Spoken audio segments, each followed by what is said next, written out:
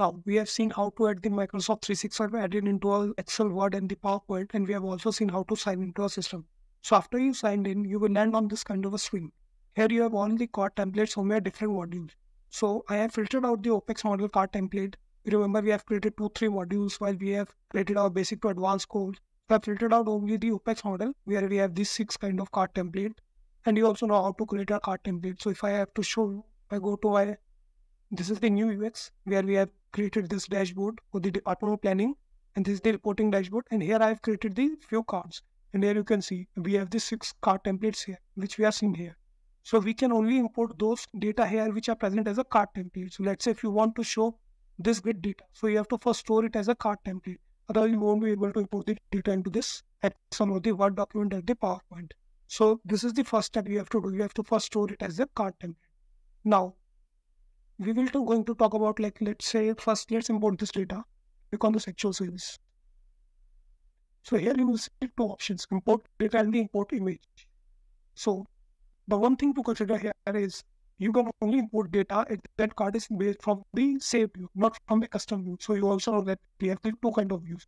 We can either create a custom view from on our dashboard or from a default view.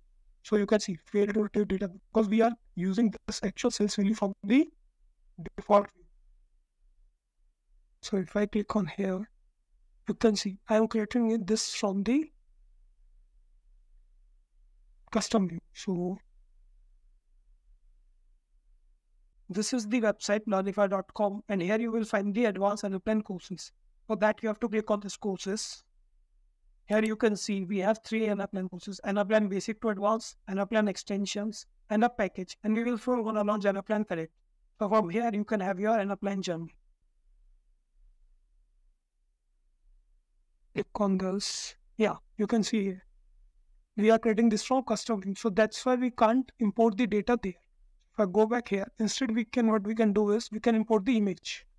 I click on this import image, let's wait for this to load. So we can't import this, you can see, we cannot insert data from a custom view.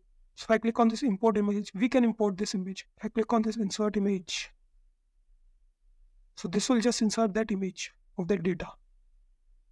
We have to wait for this. Look, then inserted the data. If I go out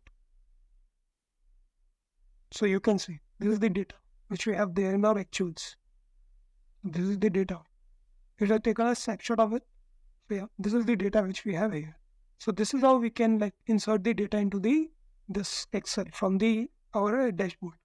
And now let's go to the Word document. So I want to show you a minute difference here and rest of the things are same. Let's see if I want to import data here.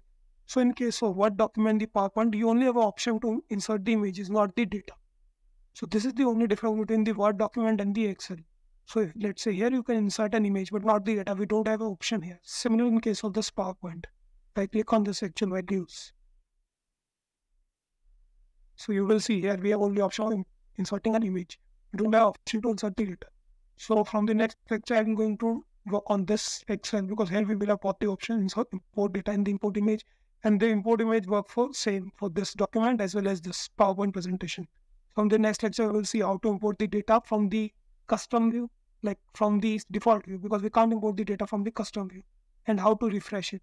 So I'm going to only show those values which I have tried, and this is like a new thing. So Anaplan is constantly improving this Microsoft 365 add So if let's say in future some new things will add on, so I will create an updated lecture on those.